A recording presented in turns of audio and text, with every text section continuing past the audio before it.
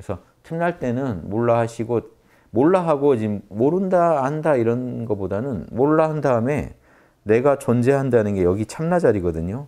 여기 알이 하나 있다고 생각하시고 딱 알아차리는 그 정신을 하나의 알이라고 생각하시고 거기 집중하시면서 그냥 만 이게 내가 우주의 이 중심 자리 하느님 자리 딱 붙잡고 있다 이렇게 생각하시면서 그 자리가 됐다라고 생각하시고 존재해 보시면 나중에 기운이 가서도 그 자리를 계속 보호해 줘 가지고 힘을 키우는 거거든요.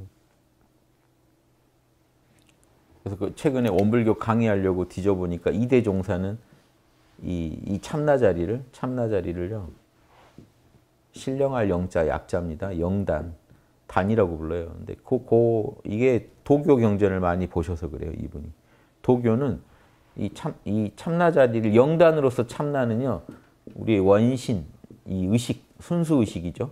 순수 의식 플러스 뭐냐면요 원기예요. 이게 용어 비결에서 이게 용이면 이게 호잖아요. 원기, 순수 에너지. 순수 에너지가요, 상단전에 가서 상단전을 채워주면요, 참나가 거듭납니다. 그러니까 영화가 에너지 몸을 개발한다, 이런 측면도 중요하지만, 실제로는 성령을 거듭나게 해줘요. 성령이, 그러니까 성령은 원래 퍼펙트하지만, 내 안에서 드러나는 성령의 힘을요, 엄청나게 강화시켜줍니다. 이미 드러난 성령이 더 거듭나게 되는 내 안에서. 그래서 그러면 여기 상단 전에 에너지가 꽉 찼다는 느낌이 와요. 그때 깨어 계시면 훨씬 느낌이 다른데 그래서 태식을 하는 이유도 여기 척추를 뚫고 에너지가 올라가서 상단 전에 보호해주게 만드는 거예요. 그러니까 여기다 에너지 모아놓으면 계속 상단으로 흘러 들어가요. 그래서 여기 여기에 기운이 뭐 뻑뻑하거나 물이 차 물이 찰랑거린다는 느낌이 들 수도 있게 구슬이 느껴지실 수 있어요. 요 안쪽에서. 아무튼 뭐 구슬이 느낌은 좀씩 달라요.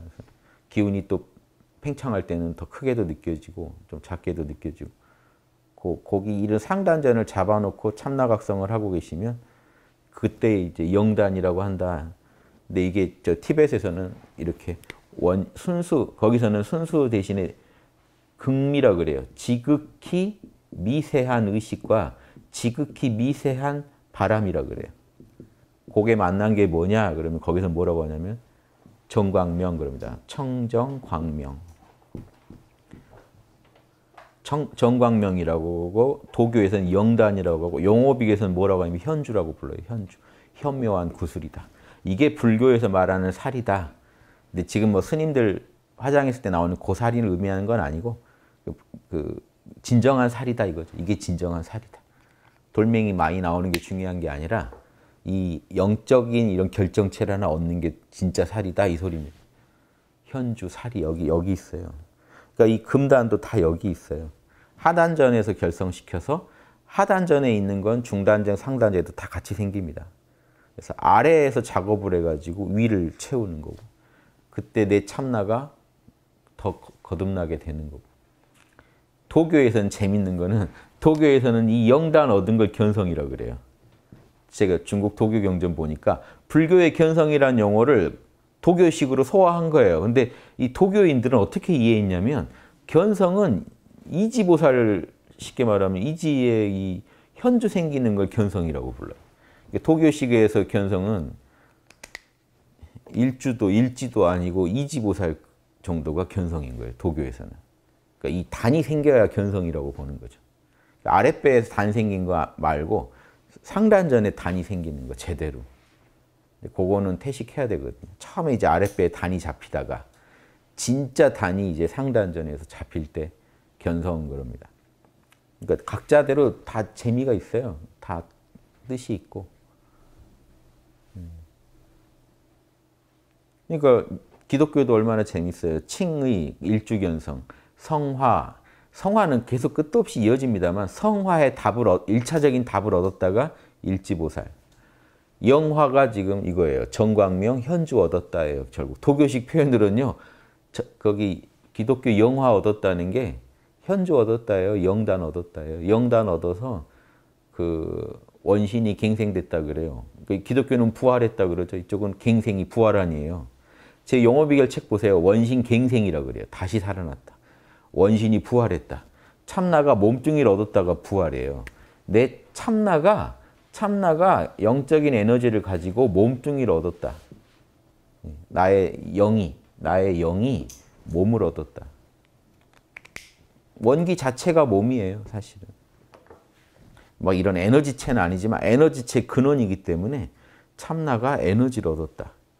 이거 이게 용이 호랑이를 만났다고 이게 현주입니다. 그래서 제 용어 비결 책 보면 요것만 말씀드릴게요. 요거 깨치는 걸 원신각성 그럽니다. 우리 우리가 말한 일주 일지 견성은 원신각성에 해당되면 원기를 얻은 거는 원신갱생 그럽니다. 부활했다 그래요. 부활했다. 제 이 표현을 왜 좋아하냐면 봉호 선생님한테 어려서부터 들은 게 원신갱생이에요. 선생님은 원신갱생이라고 그래요. 법신이 갱생했다. 원신이 갱생했다. 언제 갱생이 됩니까? 이단에서 갱생한다. 이게 딱 체계가 다 있는 거예요. 그러니까 중국 토교 책을 봐도 아, 이 사람들도 알고 있구나 하는 걸 아는 거죠. 체계가 이렇게 거짓말이 없어요. 딱딱 떨어져요. 문화권 따라 또 뭐 이렇게 또 잡스러운 부분들이 많긴 합니다만 그 계단 올라가는 거 설명할 때는 정확해요. 근데 설명이 정확하다가 어느 부분까지 가다 탁 이상해진다 그러면 그 책 쓰신 분이 거기까지밖에 공부를 안 했거나 첫째, 두 번째 그 이상을 가르쳐주고 싶지 않거나 헤매게 하고 싶거나 저자가 그 뒤는 기연을 만나야만 갈 수 있을 거야. 그런 짓도 합니다. 하는 것 같아요. 아무래도. 그, 그 옛날에 도인도 다 워낙 이상한 도인들이 많아가지고 무슨 장치를 해놨는지 알 수가 없어요. 잘, 그, 우리가 똑똑해져서 파고 들어가야지 남 믿고 가다가는 그 당합니다. 그래서 대승기 신론 같은 책도요. 그 어느 그 일주 일, 일주에서 일지 올라가는 데까지는 자명하게 설명하다가 그 다음부터는요. 되게 추상적인 얘기로 흘러가는 거예요. 그러니까 기본 원론적으로는 맞는 얘기인데 뭐냐면 이렇게 생생하게 설명하다가 갑자기 그 부분부터는 모호하게 이론 따라가는 부분이 많아요. 그러면 그건 저자의 어떤 경험을 넘어선 영역이에요. 그러니까 이치로는 당연히 이렇게 되겠지 하고 설명하는 거죠. 기존 경전을 보, 봐, 봐, 봐 보고 내가 이치적으로 따져봐도 이렇게 공부가 되겠지 하고 쓰는 거지 딱 해보고 쓴 영역은 표가 납니다. 사람도 딱 달라요. 자기 해본 거 얘기할 때는 막 눈이 빛나다가 눈이 안 빛나요. 그러지 않을까? 막 이런, 이런 영역은 눈이 안 빛나요. 그렇다던데 하는 건.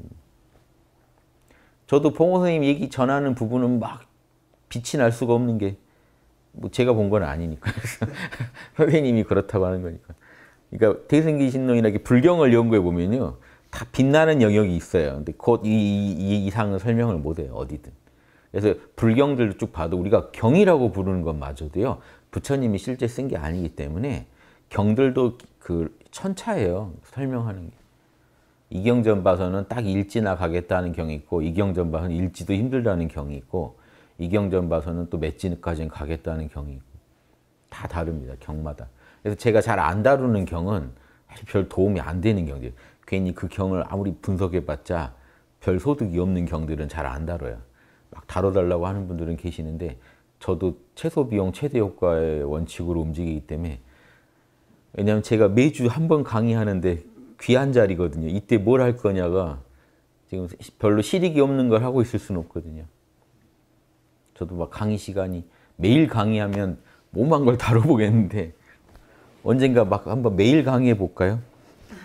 월요일 화엄경, 화요일 뭐 도마부금, 수요일 유마경 뭐 이렇게 이렇게 그래서 원하시는 강의만 청강하시고 저는 그냥 매일 강의만 하는 뭐 이런 삶도 가능은 합니다.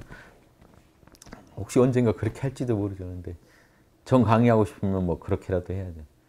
근데 지금 일주일에 한 번 강의하다 보니까는 이게 막 이것저것 못 하고 있고 지금 하고 싶은 것도 못 하는 게 밀려서 못 하는 것도 많고 안타까운 상황이 대충 이렇습니다. 혹시 궁금하신 거 있으세요? 오늘 또 이것도 잘 그래서 저는 근데 여기에다 에너지를 실어주려고 하시면 안 돼요. 아랫배에다가 실어주셔야죠. 무조건. 아랫배 에너지가 차면 위에 그만큼 차는 겁니다. 영어 비결에도 나와요. 아래의 기운이 모이면 그 기운이 이렇게 올라가서 위에서 맑은 기운이 위로 올라간다. 그러니까 탁해진다는 거죠. 위에 바로 기운을 올리려고 그러면 정신이 탁해져요.